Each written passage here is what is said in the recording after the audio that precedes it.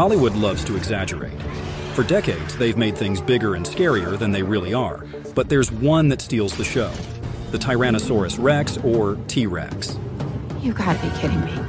This dinosaur is a big deal in movies, scaring millions of people and becoming a real icon of fear.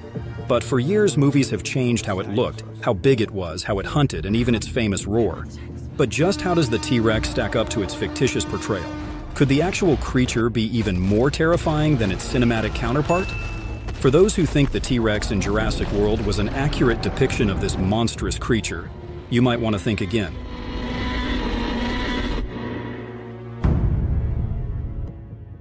Tyrannosaurus rex roamed the western regions of North America during the late Cretaceous period, approximately 70 million years ago. As the last known member of the Tyrannosaurids, T. rex held a significant place in prehistoric ecosystems, existing alongside other iconic dinosaurs of the time. It was among the final non-avian dinosaurs to inhabit the Earth before the catastrophic Cretaceous-Paleogene extinction event reshaped the planet's biodiversity forever. Thus, the fierce predator stayed hidden for a very long time, until 1874, when a student stumbled upon a giant tooth by chance. Over the next few decades, various fragments of its remains were unearthed, yet the complete fossil eluded discovery. By this time, scientists have been acquainted with T. rex for over a century, but it wasn't until the 1980s that the most comprehensive fossil was found in South Dakota. Dubbed Sue in honor of the fossil hunter who made the discovery, this towering dinosaur stood 4 meters tall and measured an impressive 13 meters in length from head to tail. This made T. rex nearly the size of an African bush elephant, with powerful jaws that displayed dagger-like teeth. After all, T. rex was one of the largest land carnivores of all time. According to the most recent studies, Sue's body mass has been estimated at approximately 9 tons. Another fossil specimen named Scotty was at 10 tons in body mass, the largest known specimen to this date. However, not every adult Tyrannosaurus recovered is as big as Sue or Scotty. Historically, Average adult mass estimates have varied widely over the years, from as low as 5 tons to more than 8 tons, with most modern estimates ranging between 6 tons and 9 tons. Now, we will never know for certain if it was T. rex's incredible size or its obsession with tracking down the prey that made Michael Crichton and Steven Spielberg unleash the beast on screen. But what we can tell for certain is their depiction made T. rex become the most widely recognized dinosaur species in popular culture. It is also most probably the only animal that is widely known by its scientific name, Tyrannosaurus rex. But with fame comes consequences because filmmakers love to spice things up. For instance, much of the velociraptors shown in the movie Jurassic Park were actually based on another species called Deinonychus that was larger in size. Michael Crichton wanted velociraptors to look vicious as per its name and decided to oversize them in the movie. Though adult T. rex in movies vary in size, it is often longer and taller than the largest known specimen. In Jurassic Park, Michael Crichton added an extra 8 feet to the length of the CGI to bring out the viciousness that made people tremble in fear. Interestingly, T. rex's proportions aren't the only reason it is prominent in the realm of horror movies. The head of a T. rex was the real deal. This fierce carnivore was basically designed for crunching through its meals. Its rigid skull was optimized for delivering bone-crushing bites, concentrating the force of its powerful muscles into a single, devastating strike, capable of exerting up to 6 tons of pressure. With its 60 serrated teeth, each measuring about 8 inches in length, this predator could pierce and grip flesh with ease, hurling its prey into the air before swallowing it whole. In movies, this fearsome power of the Tyrannosaurus rex's 60 serrated teeth is noticeably weakened. One would expect its six-ton jaws to inflict paralysis or even death with a single bite. However, in franchises like Jurassic Park, efforts are made to downplay this power. Whenever an adult Tyrannosaurus engages in combat on screen, its bite seems to lack the ferocity one would anticipate. Instead of tearing flesh or crushing bones, the creature merely nudges its prey. While this makes for exciting dinosaur battles, it diverges significantly from reality. Interestingly, the visual effects company ILM, responsible for bringing the Tyrannosaurus to life, consulted with paleontologists during the design process. However, despite this consultation, animators only incorporated some of the provided details. As previously mentioned, the Tyrannosaurus rex possesses unique teeth within its family. These teeth are serrated, slightly curved, and as thick as logs, perfectly suited for delivering immense bite forces. Even if the Tyrannosaurus were to withdraw after biting into a limb or neck, it would likely cause bone fractures and flesh wounds before its prey could escape. Thinner teeth wouldn't efficiently transfer such forces. However, in the case of T. rex, the filmmakers opted for thinner, more knife like teeth, believing them to be more visually terrifying on screen. Some filmmakers stay true to the science and show dinosaurs in their near true form. Do you remember this Pyroraptor scene from the movie Jurassic World Dominion? It may be the first time a dinosaur has been portrayed with feathers. A bit exaggerated, but closer to the shiny leather-like skin in Jurassic Park movie.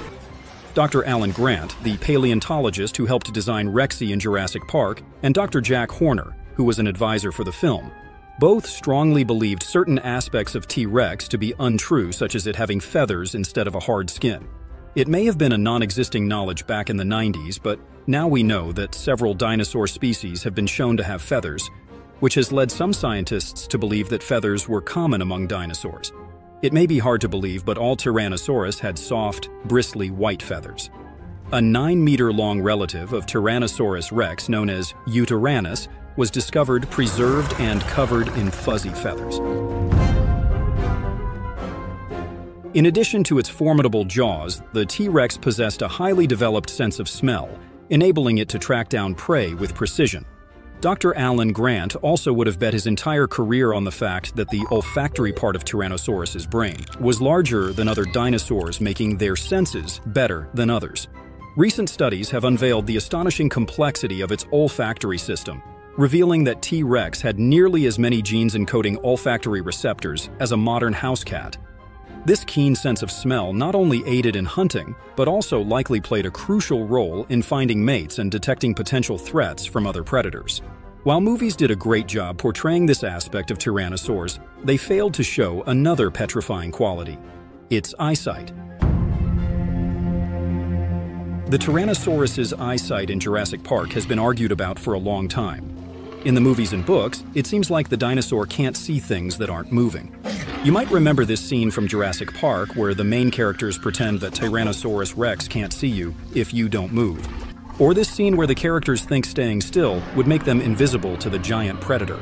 Don't move. It's not just the movie, but even in the original novel, Michael Crichton claimed that T Rex had an amazing sense of smell, so they probably had bad eyesight. Recent studies suggest the T Rex probably had really good eyesight, maybe even better than eagles.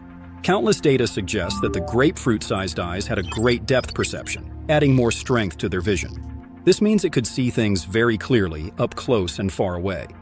Animals like crocodiles and birds use their eyes to hunt, and they have special features like sensitive light and a sharp focus area in their eyes.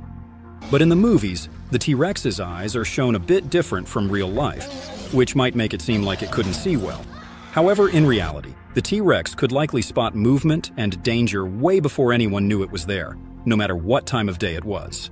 Studies conducted in 2006 and later followed up in 2011 indicated that Tyrannosaurus likely had visual acuity comparable to that of eagles. With a binocular range of depth perception exceeding 55 degree, Tyrannosaurus would have been capable of focusing on nearby objects while also scanning the environment over three times farther than a human.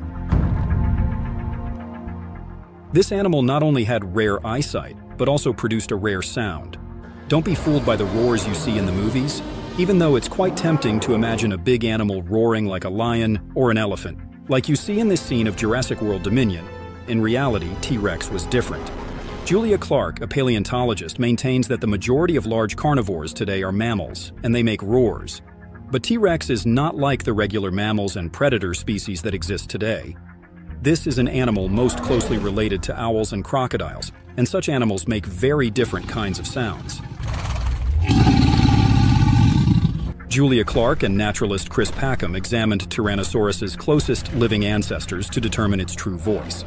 Large reptiles such as alligators and crocodiles make deep, frightening booms. Using special scans of the T-Rex's skull, scientists found out something cool about its hearing. They realized that T-Rex could hear one particular low sound really well, the call of another T-Rex. To test this, they adjusted the sound of a modern Chinese alligator to match what a T-Rex would hear. And guess what? The outcome was a chilling, deep rumble that felt eerie to hear. In real life, this epic predator was often quiet and hunted without alerting the prey. But in movies such as Jurassic World Dominion, T-Rex's calls sound more like loud roars. One reason for this is to make scenes scarier.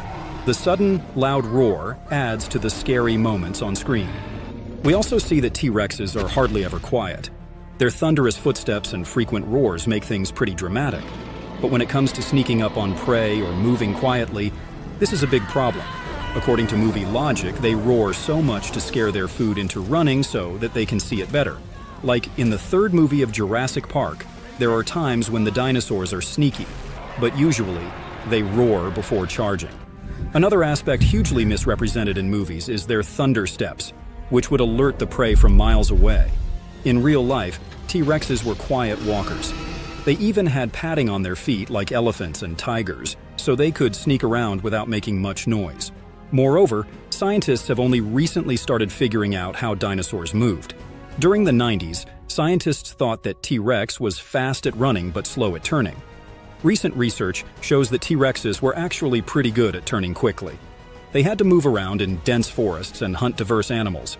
Even though they were huge, T-Rexes were still agile, even more so than other big predators. This agility isn't the same as speed, though. In the Jurassic movies, T-Rexes are shown as fast runners, like in the car chase scene. But they're often outsmarted by raptors, humans, and even other big predators. A full-grown T-Rex would have been slower than the ones in the movies. But young T-Rexes grew quickly and were remarkably swift. They could keep up with a racehorse. These young ones could catch prey quicker than their parents. But young T-Rex wasn't always careless and hunting, because Tyrannosaurus rex wasn't the only animal that lived during this time. At the end of the Cretaceous period, it lived in western North America, alongside other dinosaurs, such as the ceratopsians Triceratops and Torosaurus, the Hadrosaurid Edmontosaurus, the armored Ankylosaurus, Stygimoloch, Pachycephalosaurus and Dracorex, the smaller theropod Troodon, and the ornithomimid Struthiomimus. Even though we see T-Rex coexisting with Brachiosaurus, Dilophosaurus, and Velociraptor in the movies, in real life, they never coexisted at the same time. In fact, they all belonged to different areas of prehistoric times. While the movies didn't get many of the details right with T-Rex, this iconic dinosaur hasn't been done justice on the big screen either. For proof, check out this video. Thank you for watching and see you soon.